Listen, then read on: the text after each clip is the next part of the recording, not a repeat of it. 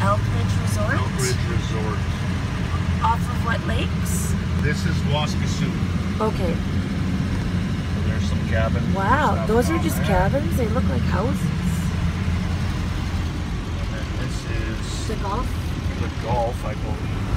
We are officially in Saskatchewan's only national park, Prince Albert National Park. So we're gonna check that out and see what goes on here today. So I just taught Troy the two most important things to take with you everywhere and anywhere on a trip. Duct tape. Red Green is my idol for those of you that are old enough to remember that show. And mounting tape, double-sided mounting tape. So you would be amazed how much of this ambulance is made with that. but it is super handy. So that is definitely a tip to keep with you on the road.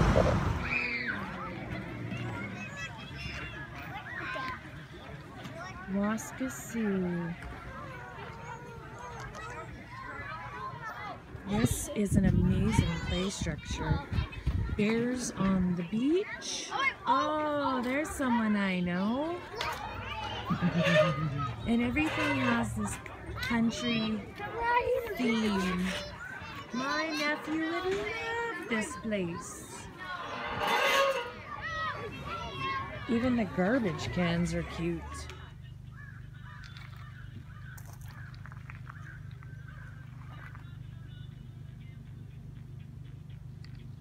I'll it up when I get the basics.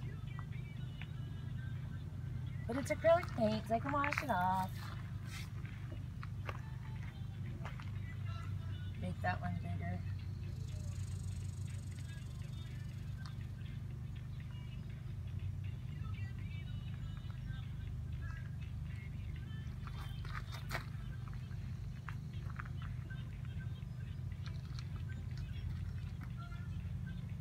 Right to the Ford spot in the middle where it used to be.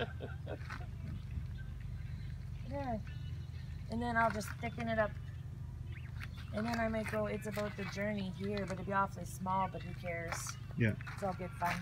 It's an old ambulance. You should have done it backwards so people could see it in the rearview mirror. Yeah, I'd rather people walk by and see it. Someone might not really know and see and think I am an ambulance. Well, you'd get the road in a hurry. yeah, but I don't know if that's really fair. Life ain't fair. Yeah.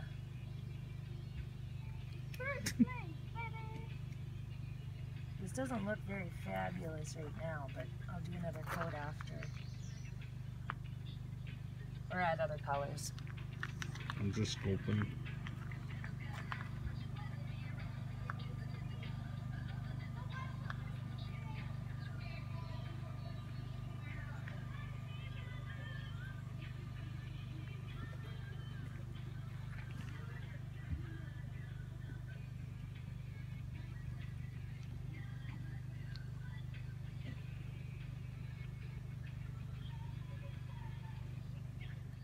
Here's my little buddy's painting. Isn't that cute? And we did that in blue. And then I've got my Van Vida. It's about the journey. And I just painted that little side piece green. Because as soon as it rains, all of this will be gone. So this is the little beach part. Boat launch is just down there. And this is at the Narrows. This is the narrowest part of this lake and it is absolutely beautiful you guys. I wish you could get a a better feel from this. Like it is so raw and so natural and so gorgeous. And we have our own little private beach. But this is awesome. Super deep! Super, So super good. deep out here! i'm gonna read my magazine. We'll see you when i get back well the last four days have been quite the experience definitely refreshing and rejuvenating in a way that only nature can bring. It is beautiful here, and I just appreciate everything about it. We've seen so many different animals and birds, um, floated in the water, went along the shore picking up clam shells and snail shells just to look at them, painting on Vida because why not? We can just do it. Nothing's been in a rush. Meals have been cooked outside. Um, I just feel truly blessed to be able to be doing this right now. Another thing throughout this journey has been the absolute generosity and kindness of other people. People that have stopped to talk and ask about the vehicle, conversations over life changes. Um, I'm not the only person going through something that is a turning point in my life.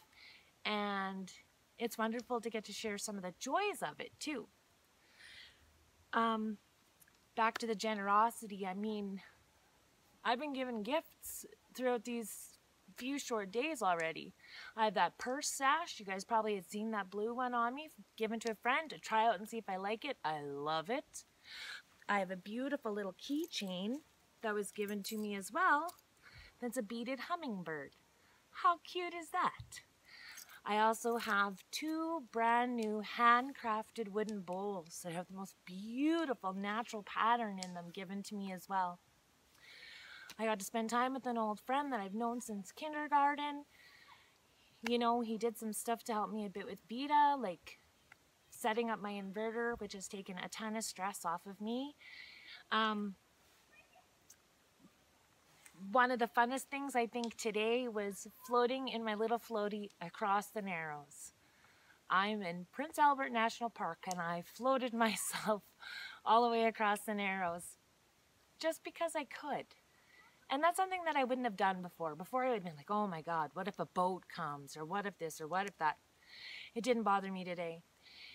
And in the last videos with a few bumps in the road, like backing into a tree or hitting the side mirror. You know what? There's so many worse things that could have happened. And when you put it in perspective, it's cosmetic. It hasn't caused any problems in my life. It's just one of those things that happens. Now, if that had happened before when I didn't feel as well, it would have been a big deal. But I am just letting myself roll with whatever comes my way. And letting myself be open to the universe, to God, to whatever you want to refer to it as. And pieces are coming together. Even the fact that my friend had the same time off that I did, you know, in a random conversation on the way up, we got to go hang out and, and do a lot of fun things. So I haven't been all alone and I haven't been lonely. Um, yeah, so I just want to let you guys know that tomorrow I will be taking them home to Prince Albert and I'm heading up to the Ness Creek um, Festival. That's going to be a new experience. It could be kind of crazy. I'm super excited for it. I'll get to show you guys what that's like. A um, little bit interested now that pot's legal, how much more that might be going on out there, but to each their own. So if you want to continue to follow with this journey, please by all means like and subscribe to my channel. Put some comments below. Let me know the things that you want to see or information that you want from this journey. Thanks so much for following. Okay, so today we left the park, but unfortunately there is tornado, uh, a tornado watch here and up for where um, the Ness Creek Festival is. And predicted 10 millimeters of rain today, 10 millimeters of rain tomorrow. And with the unit this big and heavy, and the tornado warning, I don't think I could have got a bigger sign that maybe this isn't for me this year. That doesn't mean that I can't go another time, but I think I'm to have to change my plans a bit. So I'll let you know when I know.